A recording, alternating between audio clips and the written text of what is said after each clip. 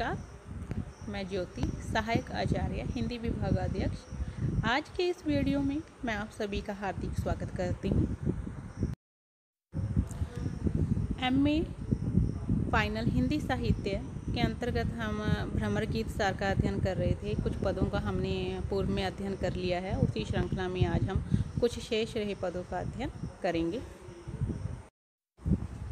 हमारे हरिहारिल की लकड़ी मन क्रम वचन, नंद नंदन और यह दृढ़ करी, पकड़ी। जागत सोवत स्वप्न दिवस निसी कान है कान है जकरी। सुनत जोग लागत है ऐसो, जैसो करुई ककरी। सो तो व्याधि हमको ले आई, देखी सुनी न करी। यह तो सुर तिन्ही ले सौंपो, जिनके मन चकरी। महाकवि सूरदास द्वारा रचित इस पद में, गोपियाँ जब उद्धव उनको योग का संदेश देते हैं तो उस योग संदेश के प्रति अपनी अरुचि व्यक्त करते हुए श्री कृष्ण के प्रति अपनी अनन्य प्रेम निष्ठा को इस पद के माध्यम से व्यक्त करती हैं। पद की व्याख्या, हमारे हरि हारिल की लकड़ी। गोपियाँ उद्धव से कहती हैं, अपने प्रेम को व्यक्त करते हुए श्री कृष्ण के प्रति कि, हे उद्धव, श्री कृष्ण हमारे लिए हारिल नामक पक्षी की लकड़ी के समान है। जिस प्रकार से हारिल नामक पक्षी अपने पैरों में सदैव एक लकड़ी को थामे रखता है, उसे कभी भी अपने से अलग नहीं होने देता। उसी प्रकार से हमने भी मन, कर्म और वचन से श्री कृष्ण को अपने हृदय में उसी पक्षी की लकड़ी के समान हमने भी अपने हृदय में श्री कृष्ण को बसाया हुआ है। हमें जागते, सोते, स्वप्न में दिन रात हर वक्त, हर पल हम श्री कृष्ण का ही जाप करती रहती हैं, उन्हीं के नाम को बार बार स्मरण करती रहती हैं। सुनत जोग लागत है ऐसो जो करुई ककड़ी। कि हे उद्धव तुम ये जो योग का संदेश देते हो, या इसे हमें अपनाने के लिए कह रही हो, हमें ये योग की बातें इस प्रकार से लगती हैं कि जैसे हमने कड़वी ककड़ी को निकल लिया हो। सू तो व्याधि हमको ले आए, देखी सुनी न करी। हे उद्धव तुम तो ये योग नामक ऐसी व्याधि हमारे पास लेके आए हो, जिसके संबंध में हमने कभी न तो सुना, न ही देखा। अर्थात तुम्हारा निर्गुण, निराकार जो ईश्वर है, उसको उसको हमने न तो कभी देखा है, न ही उसके बारे में कभी सुना है। यह तो सूर तिन्हीं ले सौंपो जिनके मन चक्री। अंत में सूरदास जी कहते हैं कि गोपियाँ उद्धव से कहती हैं कि, हे उद्धव कि तुम ये जो ज्ञान और योग का संदेश लेके आए हो या इस निर्गुण निराकार ब्रह्म को अपनाने की बातें कर रहे हो, यह तो उनको सौंपो जिनके मन चक्री अर्थात जिनके मन भ्रमित रहते हैं, जिनके मन चंचल है, अस्थिर है। हमारा हृदय तो मात्र श्री कृष्ण को समर्पित है और इस हृदय में श्री कृष्ण के अतिरिक्त अन्य कोई भी नहीं आ सकता। इस प्रकार से इस पद के माध्यम से गोपियाँ उद्धव के समक्ष अपने मन की स्थिति का वर्णन करते हुए कहना चाहती हैं कि भक्ति और जो आस्था होती है वह एक व्यक्तिगत भाव है और इसके मार्ग को, इसकी पत्ती को चुनना भी नितांत व्यक्तिगत होता है। किसी पर अपने मन के विचारों को थोपना और अपने मार्ग को, अपने विचारों को श्रेष्ठ बताना नितांत गलत है। प्रेम कोई व्यापार नहीं है जिसमें कि लाभ और हानि का आ, सोचा जाए कि हमें किस तरफ़ लाभ है और किस तरफ़ हानि है। यह तो आ, जो प्रेम का मार्ग है वह बड़ा सीधा सरल होता है जिसमें छल कपट का कोई भी स्थान नहीं होता लाभ हानि या व्यापार संबंधी कोई भी विचारधारा नहीं होती।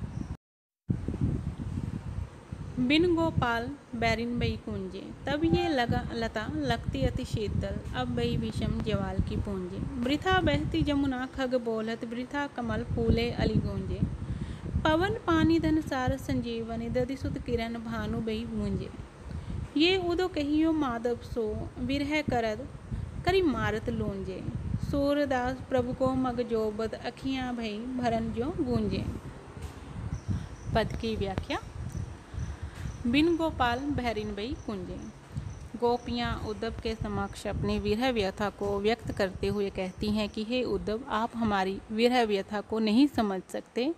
श्री कृष्ण के हमारे पास न होने से ब्रज क्षेत्र के वन की वे कुंजें, जहाँ हमने श्री कृष्ण के साथ विहार किया था, भ्रमण किया था, अब वे हमें शत्रुओं के समान प्रतीत होती हैं। तब ये लता लगती अति शीतल। अब वही भीषम ज्वाल की पूंजे।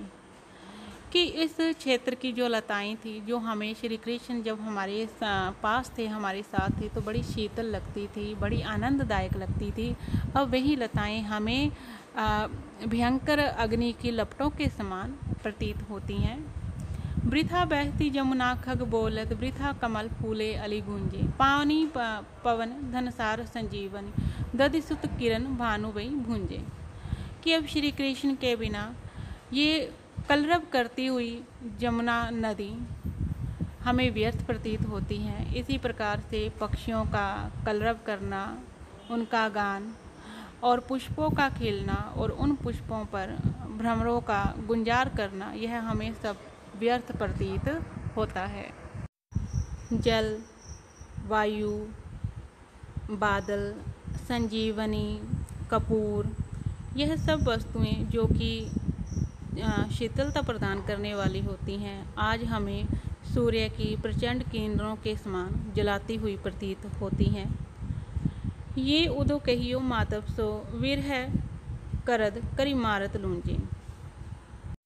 गोपियाँ उद्धव से कहती हैं कि, हे उद्धव, कि आप जब ब्रज से गो, अपने मथुरा जाओ, श्री कृष्ण के पास जाओ तो उनको यह कहना कि आपके विरह में हम मृत्यु के समान हो गई हैं या मृत्यु तुल्य ही हो गई हैं जीवित। सूर्यदास प्रभु को मग जोबत, अखियाँ भई, परंजो गूंजे। सूरदास जी कहते हैं कि गोपियाँ उद्धव से कहती हैं कि, हे उद्धव, आप श्री कृष्ण को यह भी संदेशा देना कि उनके आने का मार्ग देखते देखते हमारी आँखें गुंजा पक्षी के समान लाल हो गई हैं। इस प्रकार से गोपियाँ उद्धव के समक्ष अपनी विरह व्यथा को प्रकट करती हुई यह कहना चाहती हैं कि श्री कृष्ण के बिना इस संसार में उनके लिए सभी वस्तुएँ त्याज्य हैं। चाहे वे वस्तुएँ कितनी ही शीतल हो, सुंदर हो, लेकिन उनकी सारी सुंदरता उनके लिए व्यर्थ है। जब श्री कृष्ण ही उनके पास नहीं है, उनकी स्थिति तो इस प्रकार से हो गई है कि वे जीवित ही मृत्यु तुल्य हैं और इसके अतिरिक्त उनकी आँखें श्री कृष्ण के आने का मार्ग जोहते जोहते गुंजा के समान लाल हो गई हैं। क्योंकि श्री कृष्ण ने उनसे कहा था कि वे उनसे आकर वापस मिलेंगे, उनसे वादा करके गए थे। तो आज भी वे प्रतीक्षारत हैं कि कब श्री कृष्ण उन्हें अपने दर्शन देंगे। प्रस्तुत पद का पाठ, अब अति चकित वंत मन मेरो, आयो हो निर्गुण उपदेशन भयो सगुन को चेरो। जो मैं ज्ञान गयो गीत को, तुम ही न परस्यो नेरो। अति अज्ञान कछु कहत न आवे, दूत बेयो हरि केरो।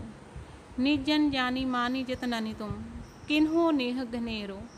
सूर मधुप उठी चले मधुपुरी बोरी जगत को बेरो। उद्धव गोपियों के, श्री कृष्ण के प्रति प्रेम को देखकर अत्यंत आश्चर्यचकित होते हैं और वे कहते हैं, अब अति चकितवंत मन मेरो, कि हे गोपियों कि आपके श्री कृष्ण के प्रति इस अनन्य प्रेम को और आपकी निष्ठा को देखकर मेरा जो मन है, वह अत्यंत ही आश्चर्यचकित है। मैं अत्यंत भाव विभोर हूँ आपके इस प्रेम को देखकर। आयो हो निर्गुण उपदेशन भयो सगुन को चेरो। कि मैं इस ब्रज क्षेत्र में निर्गुण का, योग का उपदेश लेकर आया था कि मैं आपको योग की और ज्ञान की शिक्षा दूँगा। परंतु मैं यहाँ से सगुण भक्ति को अपनाकर, प्रेम के मार्ग को अपनाकर जा रहा हूँ। या दूसरे शब्दों में कह सकते हैं कि मैं तो स्वयं सगुण का उपासक बन गया। अर्थात मैं आया तो था निर्गुण का उपदेश लेकर, लेकिन उस निर्गुण को त्याग कर मैं स्वयं सगुण का उपासक बनकर जा रहा हूँ। जो मैं ज्ञान गहयो गीत को तुम ही न परस्यो नेरो। कि मैं जो गीता का ज्ञान लेकर आया था और उस ज्ञान का उपदेश मैंने आपको दिया था। वह ज्ञान का उपदेश, वह गीता का उपदेश आपको छू भी न पाया। अति अज्ञान कछु कहत न आवे, दूत बेयो हरि केरो। कि अब मुझे अपनी अज्ञानता पर शर्म आ रही है, या मैं कह सकता हूँ कि मैं अपनी अज्ञानता पर लज्जित हूँ। अब मुझे कुछ समझ में नहीं आता कि मैं आपसे क्या कहूँ। अब मुझे यह समझ में आ गया कि श्री हरि ने मुझे अपना दूत बनाकर यहाँ क्यों भेजा था अर्थात, मैं इस बात को जान चुका हूँ कि उन्होंने मुझे योग और निर्गुण का उपदेश देने के लिए यहाँ नहीं भेजा था, बल्कि सगुण का उपासक बनकर आऊँ, मैं प्रेम के महत्व को समझ पाऊँ, प्रेम के मार्ग को अपनाऊँ, इसीलिए उन्होंने मुझे यहाँ आपके पास भेजा था कि मैं आपके माध्यम से उस प्रेम के महत्व को जान सकूँ। निज जन मानी जतननी तुम, किन्हो नेह किनेरो। हे गोपियों, आपने मुझे अपना माना और बहुत स्नेह दिया। उसके लिए आपको धन्यवाद, आपका बहुत बहुत धन्यवाद, जो आपने मुझे इतना आदर सत्कार दिया, उसका आभार। सूर मधुप उठ चले मधुपुरी, बोरी जग को बेरो। सूरदास जी कहते हैं कि गोपियों से इस प्रकार का वार्तालाप करके मधुप अर्थात जो उद्धव हैं उन्होंने मथुरा के लिए प्रस्थान किया और प्रस्थान करते वक्त उन्होंने जो उनका योग का बेड़ा था, उसको गोपियों के प्रेम के सागर में डुबोकर और सगुन को अपनाकर, प्रेम के मार्ग को अपनाकर वहाँ से मथुरा के लिए उन्होंने गमन किया। इस प्रकार से इस पद के माध्यम से महाकवि सूरदास ने निर्गुण का खंडन व सगुन का मंडन किया है।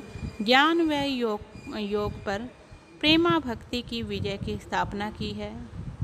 अंत में उद्धव भी श्री कृष्ण के भक्त बनकर अपने ज्ञान और योग को त्याग कर प्रेमा भक्ति में भाव विभोर होकर वृंदा मथुरा को प्रस्थान करते हैं। आज की यह लेक्चर वीडियो यहीं पर समाप्त होती है। धन्यवाद।